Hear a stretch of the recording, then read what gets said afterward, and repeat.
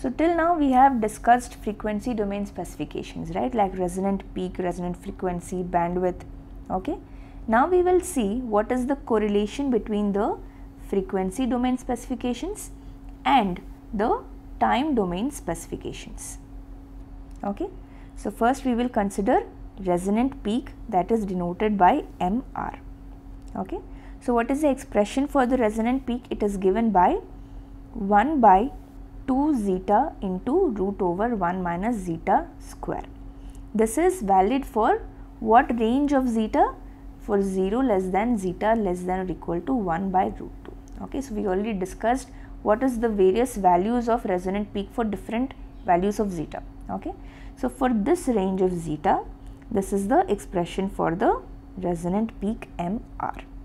Okay, so if you differentiate MR with respect to zeta, we will be able to find out whether it is a increasing or decreasing function with respect to zeta. Okay. So, we will not go into the details of the calculation. Final result is that MR is a decreasing function. Okay. So, what is meant by a decreasing function? It means that as zeta increases, MR will decrease. Okay. And if zeta is decreasing, then it means that the resonant peak will increase. Okay. So, this means that for a system which is having a large resonant peak, large MR, okay, the damping ratio which is nothing but zeta, it will be low. Okay. So, large resonant peak implies low damping ratio.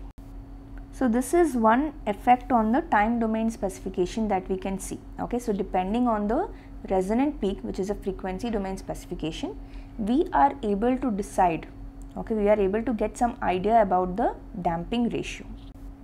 This is one thing, okay.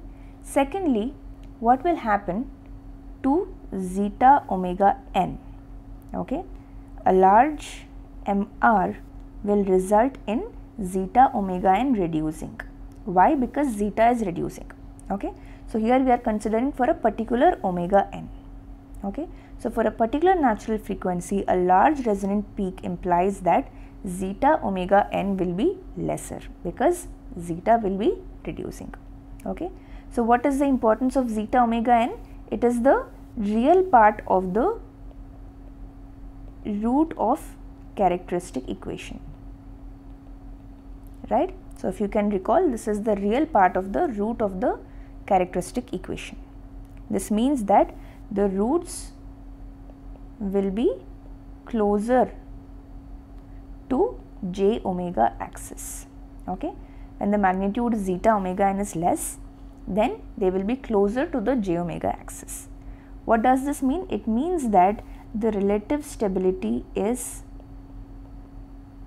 reducing is coming down okay?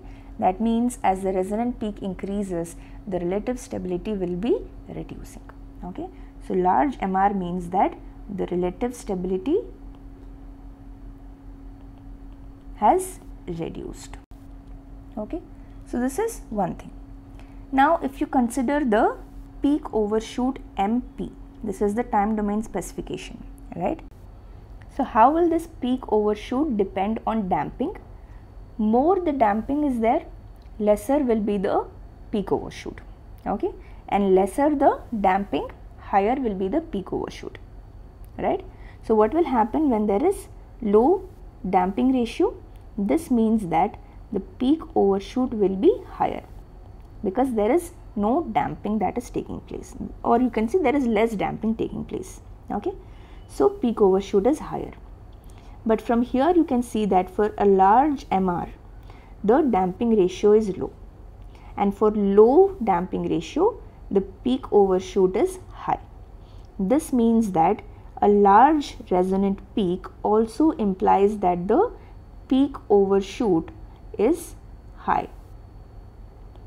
Peak overshoot MP will be high. So here we can summarize that a large resonant peak will result in low damping ratio. It will also result in reduced relative stability. Okay relative stability is reduced and the peak overshoot will be high which is undesirable right? So this is for the what range of zeta? For 0 less than zeta less than or equal to 1 by root 2 only for this range of zeta this relations are applicable. And one more important relationship is the relationship between bandwidth and the rise time. Okay?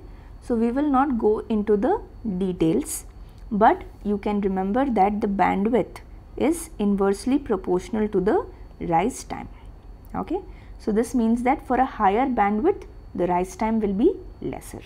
Okay? And for a lower bandwidth rise time will be higher okay?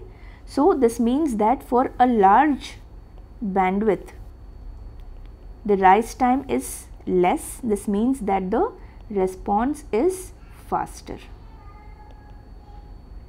Okay? So for a large bandwidth you will get a faster response